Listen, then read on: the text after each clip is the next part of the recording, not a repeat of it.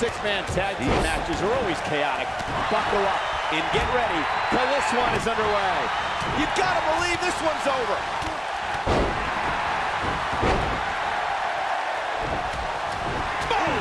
He's looking at it.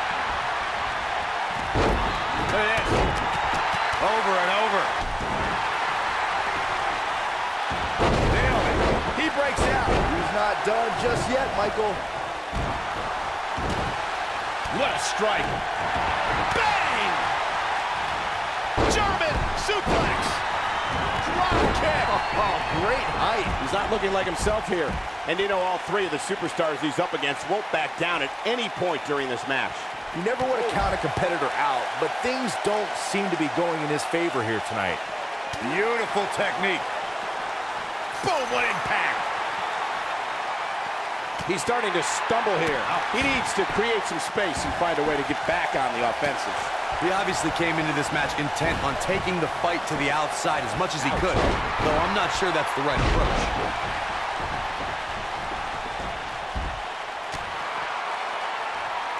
And the slam. Putting it all on the line. Bad move there. I don't know what made him think that was a good idea.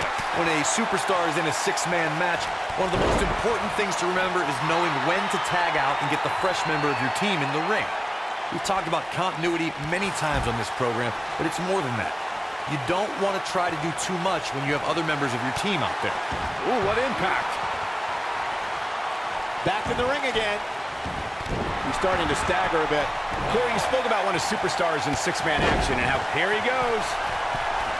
In. Oh, my gosh. Imploding 450. Unreal. But he's got to capitalize now. And if he hits this, this one's over. Ooh. He's really looking to prove a point here. Yeah, few superstars are as acrobatic. He. That's not going to do it. So resourceful. He's looking a little weary here.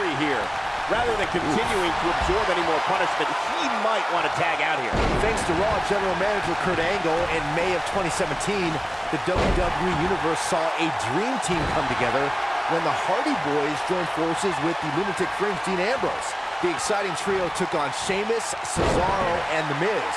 Truth be told, both Miz and Ambrose blended in with their impromptu tag team partners pretty well. Counter here. Oh boy, he is rolling.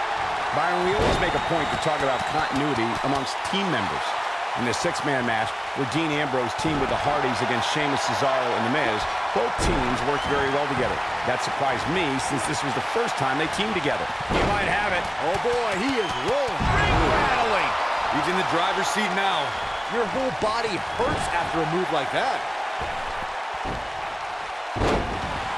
He's playing with him now. Oh, and he connects. There's no reason to lose your footing on a move like that. Oh, what a flip. Nice body control. What's he going to do now?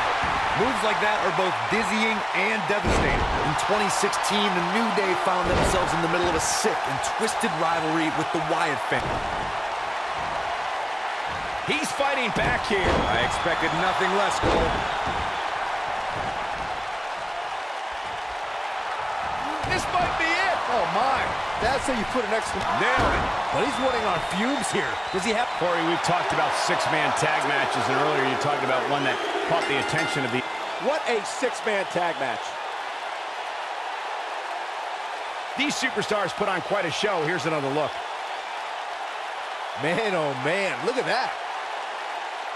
Highlight for one superstar, low light for another. This was another great moment.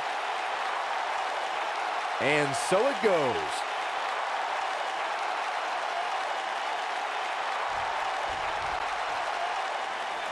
Here are your winners, Max Dalton, Norman Osborn, and the bad guy. Sending a message to the entire locker room with that win.